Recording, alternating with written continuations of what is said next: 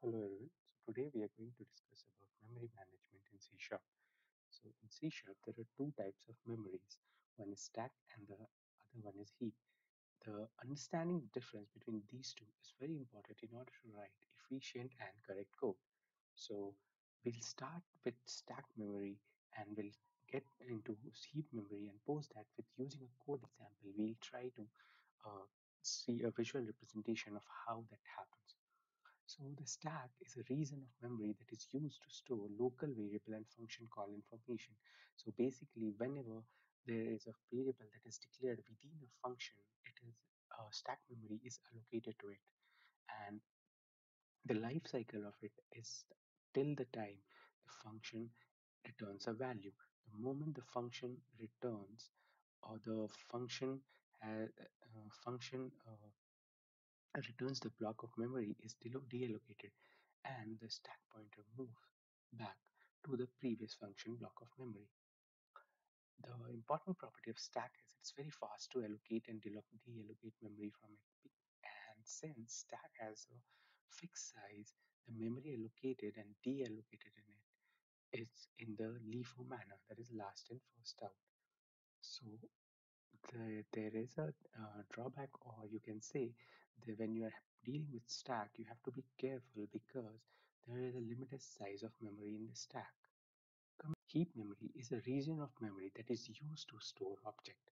It is called heap because it is organized in a particular order and can be accessed randomly.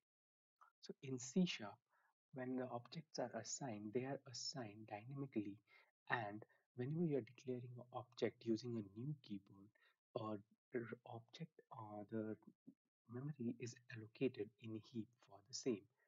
And whenever you are trying to access it it is accessed from the heap.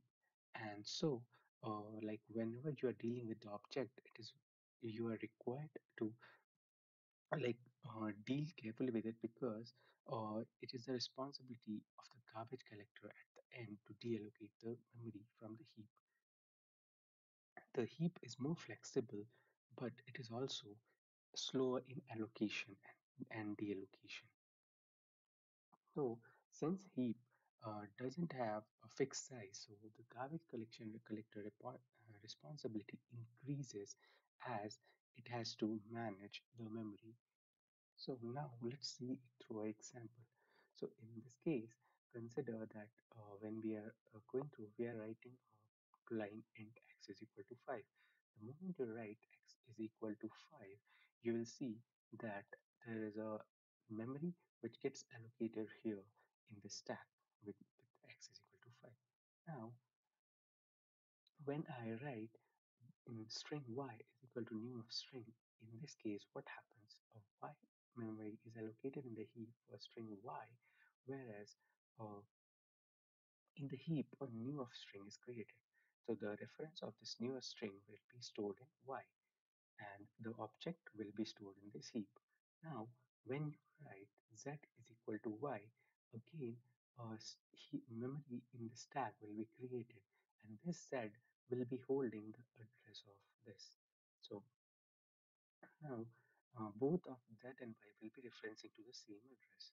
Now, when we write y is equal to null and z is equal to null. So as you see, the memory is start to getting released. So y got released and z got released. Now this x will be there till this function life cycle is there. Once the function control is returned, that time the memory from the stack will be released and also the memory from the heap will be cleared by the garbage collector. So I hope you would have understood the concept Please uh, send share your comments uh, if you have any questions on this video. Thank you.